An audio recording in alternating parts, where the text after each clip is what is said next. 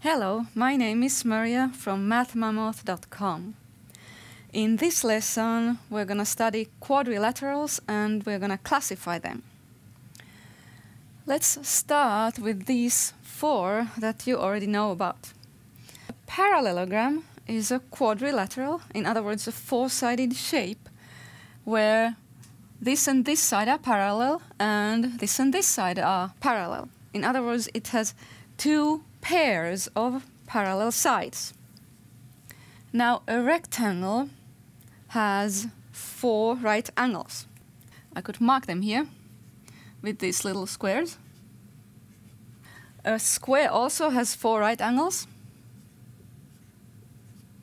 but also each of its sides is congruent. In other words, of the same length, and we can mark that with those little marks like that. Do you remember the definition of a rhombus? In a rhombus, it's also called a diamond shape. Again, each side is of equal length, or all the sides are congruent. Now I have organized those four types of quadrilaterals here in a tree diagram. It is basically like a family tree for quadrilaterals. And uh, here we have the parallelogram. And then when we go down this way, this here, the rhombus is like a child of the parallelogram, or it belongs to the parallelogram family. Also, the rectangle belongs to the parallelogram family. And then square belongs to the rectangle family, and so on, okay? In other words, a rectangle is also a parallelogram. It belongs to the family. Or a square is also a rectangle, right? A square is also a rhombus, and so on. Here it is asked, is a square a rhombus? Is a square a rhombus? Yes, it is. You can see it from the diagram because it is here like a child or it is in that family. Or you can think of the definition. The definition of a rhombus is that all four sides are congruent. Is that true of the square? Are all four sides congruent? Yes, they are. So a square is a rhombus. Is a square a parallelogram? Again, you can use this diagram here. Is a square a parallelogram? Does it belong to the parallelogram family?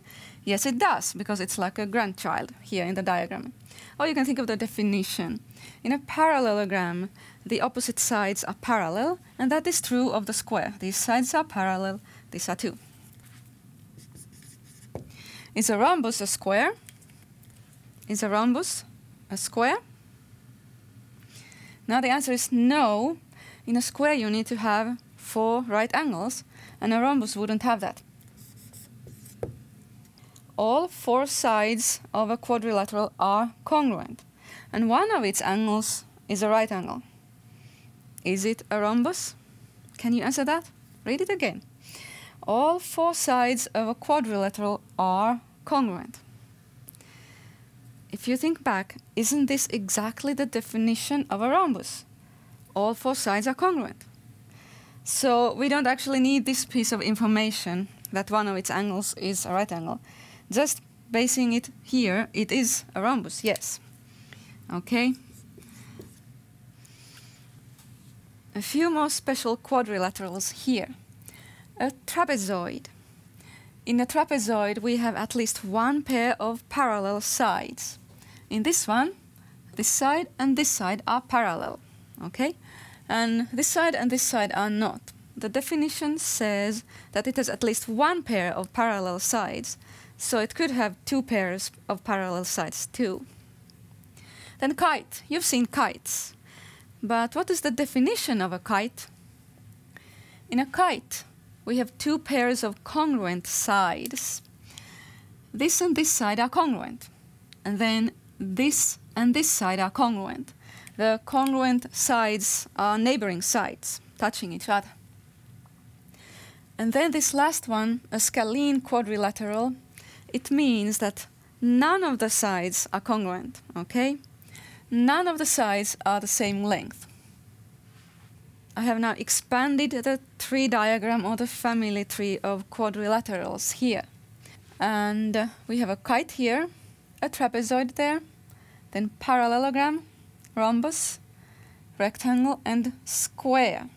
Now you might wonder where is the scalene quadrilateral, the one that doesn't have any congruent sides. Uh, it would kind of go off on its own over there.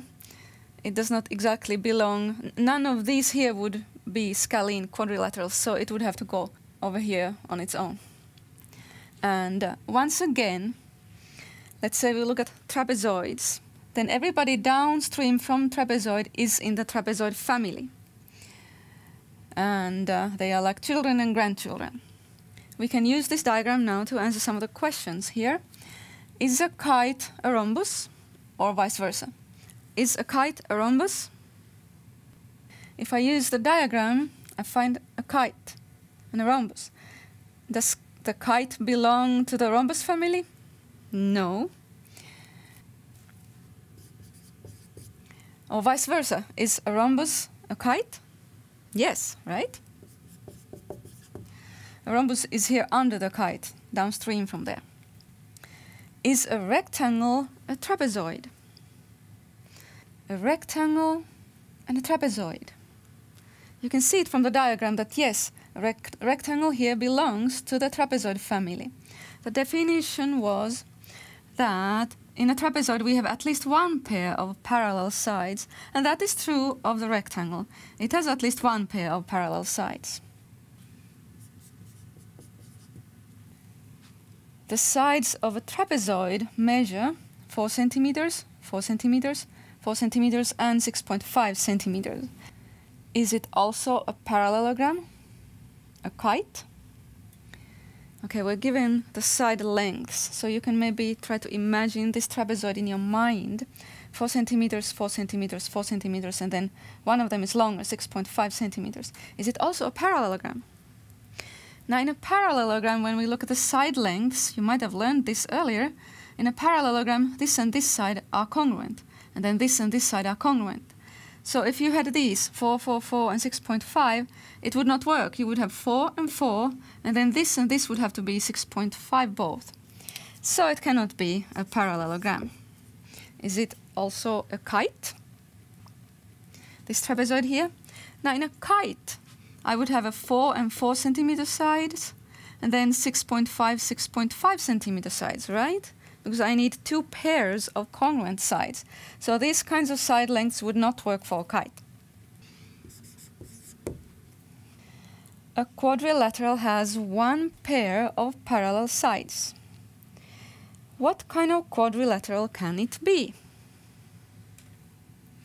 one pair of parallel sides. Now that is, of course, it reminds you of a trapezoid, right?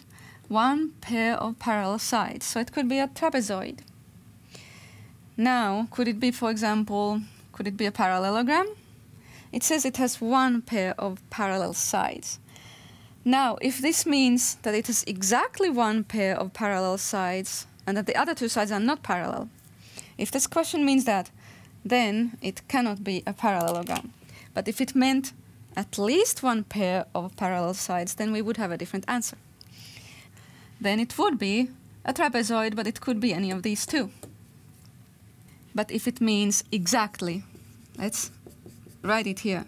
If the question is that it has exactly one pair of parallel sides, then it cannot be any of these, because these have two pairs of parallel sides. So it has to be a trapezoid.